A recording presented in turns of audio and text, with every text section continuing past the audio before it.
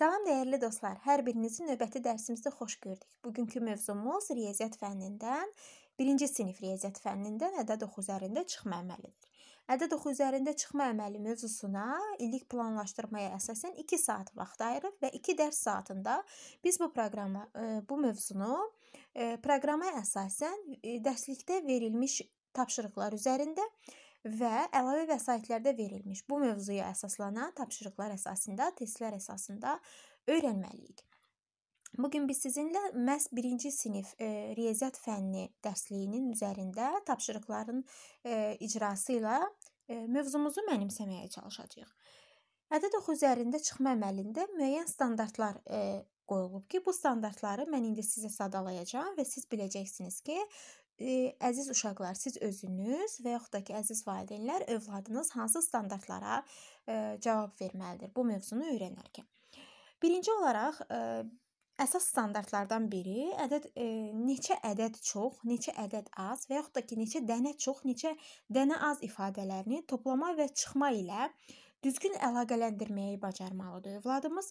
Toplama və çıxma əməllərinin komponentləri və nəticələri arasında əlaqələrdən hesablamalarda düzgün istifadə etməyi bacarmalıdır övladımız. Daha sonra övladımız tənliklər haqqında ilkin təsəvvürünün formalaşdığını, ilkin təsəvvürün artıq onda olduğunu nümayiş etdirməlidir.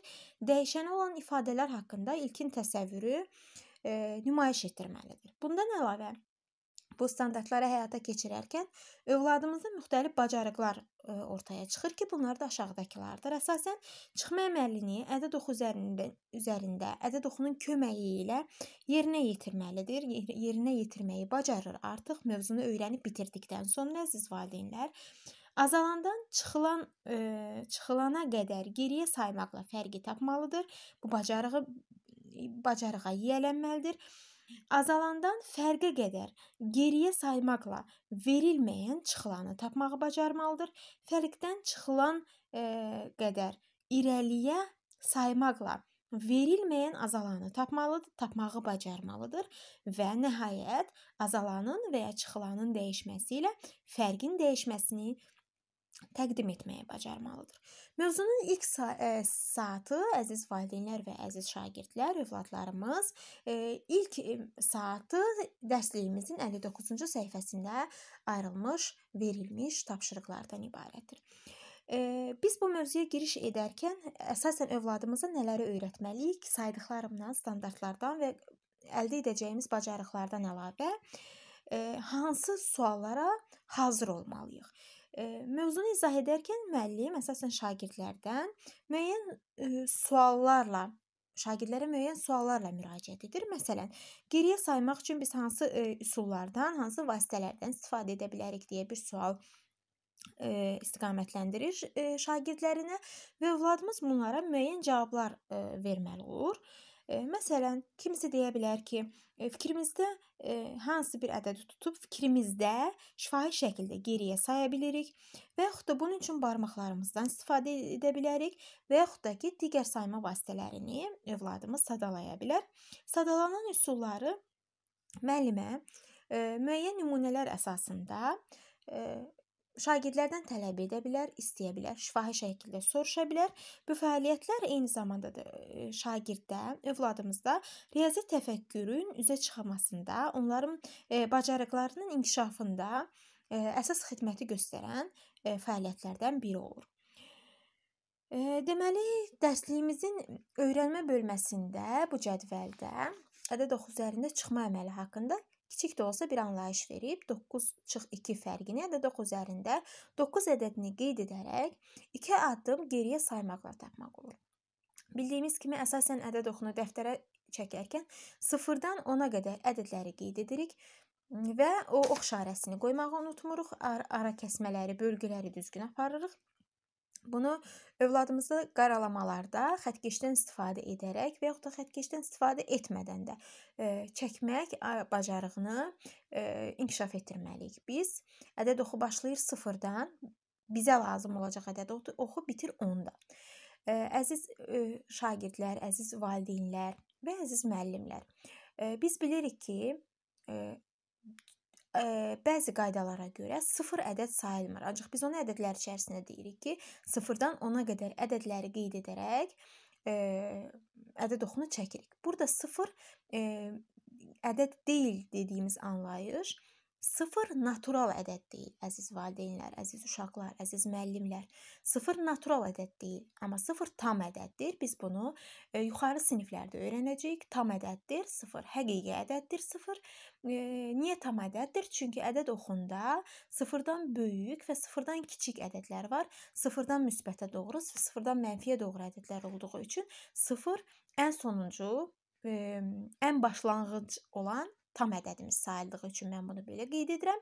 İrad bildirə bilərsiniz buna görə ki, öncəki videolarımızda bu haqqda e, abonentlərimiz, abunəçilərimizdən biri yazmışdı ki, 0 ədəd deyil, ancaq qeyd etmək istəyirəm ki, 0 natural ədəd deyil, ancaq 0 tam ədəddir. Və belə, qaldığım bu kiçik haşiyəyə çıxdıqdan sonra qaldığımız yerdən davam edirik. Biz ədəd oxu üzərində 9-u qeyd edirik. 9-dan geriyə 2 addım saymaqla 9 çıx 2 fərqini tapırıq. 9 çıx 2 fərqini tapırıq və beləcə bizə məlum olur ki, 9-dan 2 çıxanda fərq 7 alınır. Burada da qeyd olunduğu kimi 9-u ədəd oxu üzərində qeyd edək və 2 addım geriyə addımlayaq. 8 və 7. Bu qayda ilə əziz şagirdlər, əziz valideynlər övladınıza və özümüz sərbəst şəkildə əziz şagirdlər e, birinci tapşırığı rahatlıqla yerinə yetirə bilərik. Fərqi tapmaq üçün ədəd oxundan istifadə edin deyə xahiş edir bizdən, tələb edir bizdən və ədəd oxunu çəkirik. E, bu ədəd oxu üzərində e, geriyə saymaq yolu ilə, addımlamaq yolu ilə tapşırığı yerinə yetiririk. İkinci tapşırıqda isə məsələ e, şəklində bizdən istəyir bu tapşırığın həllini, ancaq məsələnin həllində belə ədəd oxundan mütləq istifadə etməliyik. Biz tapşırıq 1-də də, tapşırıq 2-də də e, əvvəlcədən hazırlanmış ədəd oxları üzərində modelləşdirməklə yerinə yetirə bilərik. Şagirdlərə, övladlarımıza ədəd oxu üzərində irəliyə və geriyə saymaqla addımlarını e, qeyd etmək vərdişlərini aşılamış oluruq beləcə də.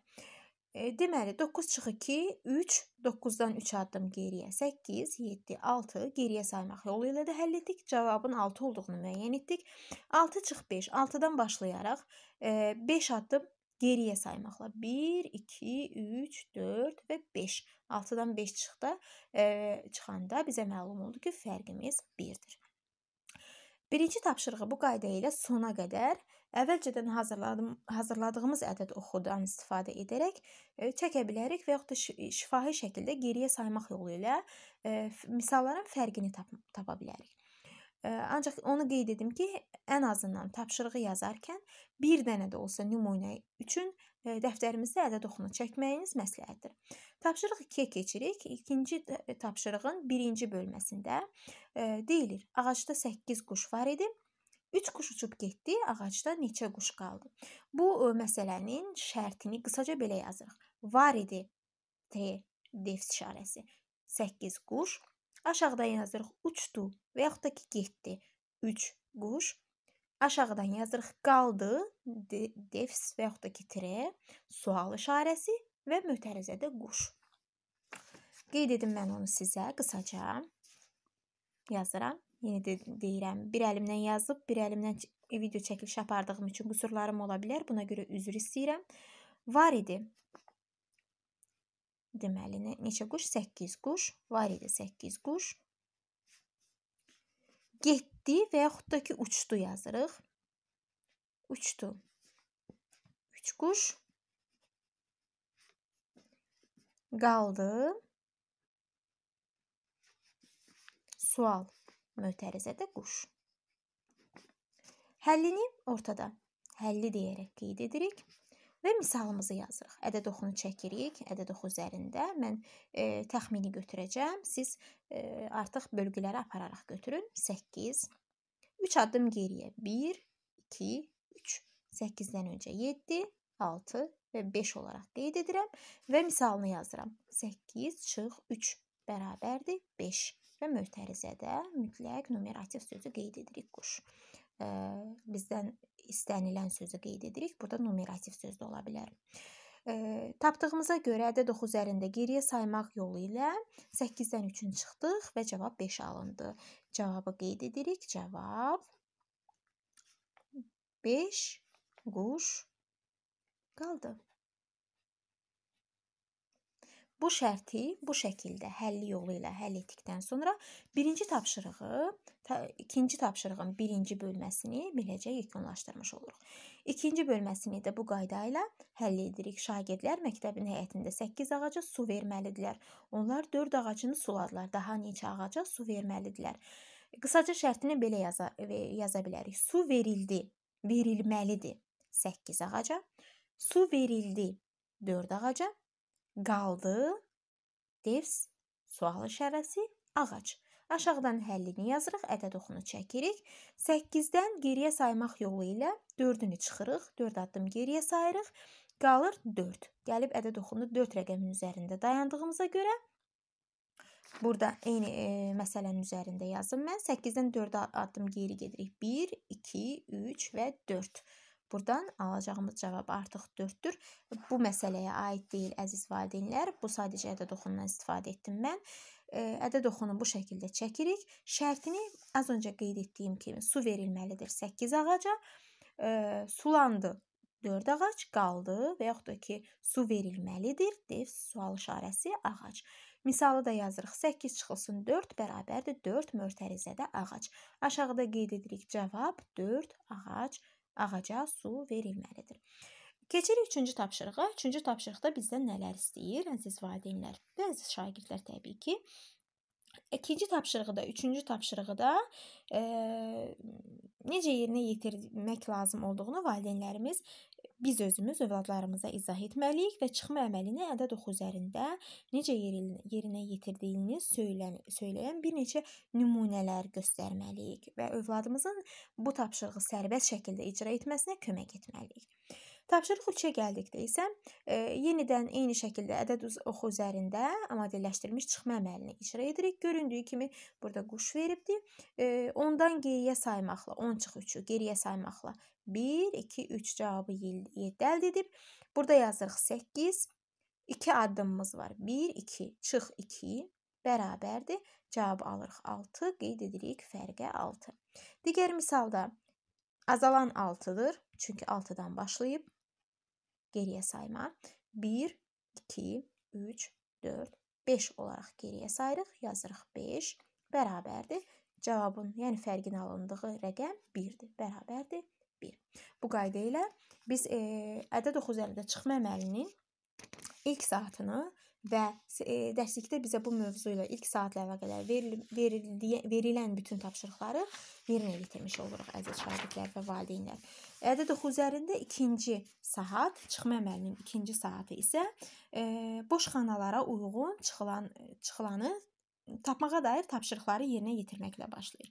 Bu tapşırıqda ədəd oxunun söhbət bu tapşırıqdan gedir. Ədəd oxunun köməyi ilə şifahi yerinə yetirmək tələb olunur bizdən. Hər bir sütundakı tapşırıqları tapşırıqlar haqqında övladımıza və yaxud şagirdlərimizə e, izah veririk və onların fikirlərini təqdim edirlər.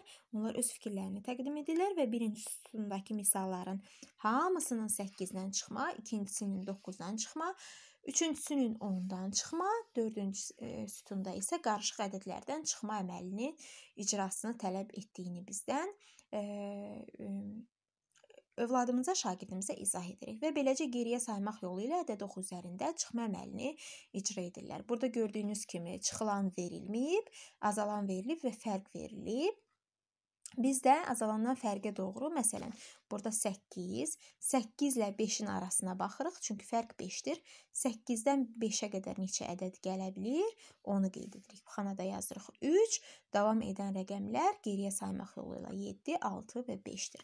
8 çıxılsın 4 tapşırığına baxırıq. 8 e, azalandı, çıxılan verilməyib, fərq 4-dür. 8 ilə 4-ün arasındakı boşluqlara baxırıq. 1, 2, 3, 4. Deməli burada çıxılan 4-dür və geriyə saymaq yolu ilə 7, 6, 5 və 4 olaraq bu hissədə qeyd olunur. İkinci tapşırığa gəldikdə isə İkinci tapşırıqda elə üçüncü tapşırığın özü də e, məsələ qurma yolu ilə həll olunur. E, necə deyə bilərik? Məsələn, var idi 4 alma, yeyildi 3 alma, qaldı sual və yaxud da ki, var idi e, 6 alma, yeyildi 4 alma qaldı. Sual var idi. Deyil, baxın bura 8 alma yeyildi. 5 alma qaldı. Sual. Bu qayda ilə şərt qururuq. Şərti ə, həll bölməsini ədəd oxu üzərində geriyə saymaq yolu ilə az öncə də qeyd etdiyim misallar kimi, ə, məsələ kimi geriyə saymaq yolu ilə ə, məsələnin fərqini tapıb dəftərimizdə qeyd edirik.